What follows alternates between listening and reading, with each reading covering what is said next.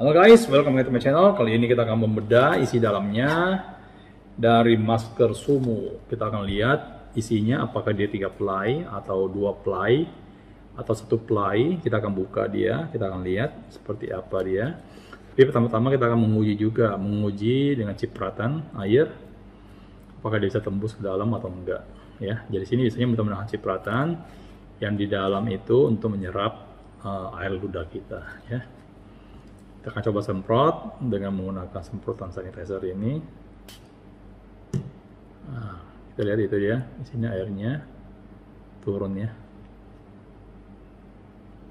Airnya turun, udah nggak tembus ke dalamnya. Kalau di dalam kita semprot, dia langsung menyerap. Nih, dia menyerap ke dalamnya. Jadi bagian dalam diserap, bagian luar ditahan. Oke, sekarang kita akan lihat apakah dia ini tiga ply atau bukan ya? Nah ini dia nih ya.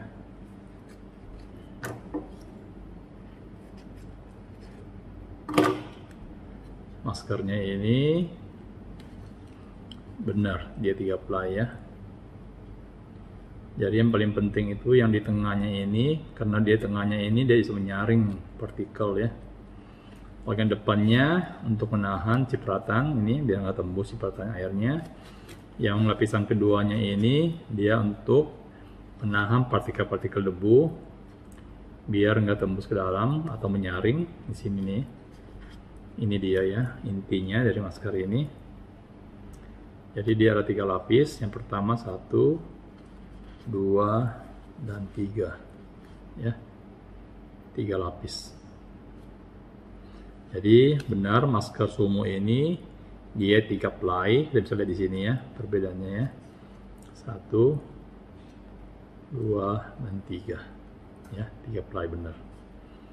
Masker ini tipis dan nyaman ya. Kita oh ini masker itu harusnya tiga, proteksinya bagus ya. Dia bisa tiga tiga ply, dia bisa menyaring partikel. Yang kedua, harus ada comfort, nyaman dipakai. Yang ketiga style, yang membuat kita lebih keren lagi. Ini menggunakan masker, udah keren. Terus yang kedua itu uh, dia nyaman dipakai karena kita pakai seharian. Dan yang ketiga yang paling penting itu proteksinya paling bagus. Proteksinya bagus, nyaman dipakai dan keren, stylenya bagus.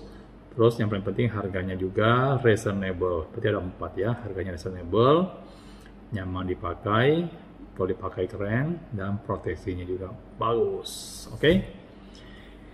Oke okay guys, demikian review dari kami Ronatek mengenai kita mereview lebih dalam lagi mengenai masker Sumo ini dengan tiga ply.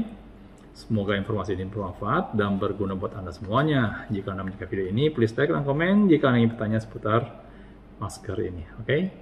jadi udah terbukti masker ini tiga ply. Penetrasinya ada kita bongkar semuanya. Oke okay, sampai ketemu lagi di channel kami selanjutnya. See you on top guys